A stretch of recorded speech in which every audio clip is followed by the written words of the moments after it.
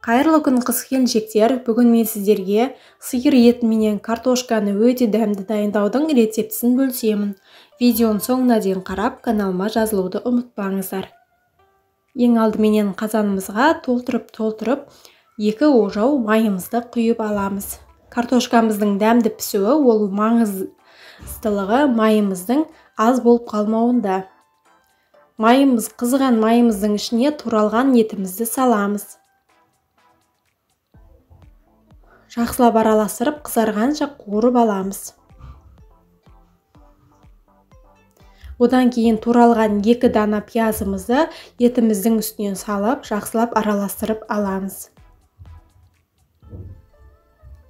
Мен бұл етім менен пиязымды жақсылап араластырып алып одан кейін бетін жауып 20 минут демдеп қоямын. Сонда пиязымыз өзінің суын бөліп өте дәмді болып етіміз жұмсақ болып пісетін болады. Одан кейін бетіне туралған картошкамызды саламыз.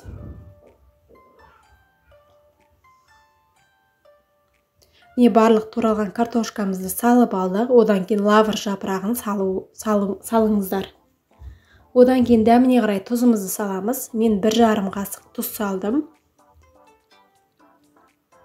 Одан кейін бетін жауып 15-20 минут демдейміз міне біздің тамағымыз дайын болып шықты. Бір екі рет араластырып жіберіп одан кейін картошка тағамымызды сала ыдысымызға сала беруімізге болады. Тамағымыз өте дәмді болып шықты. Мен өзім картошка тамағын жақсы көремін.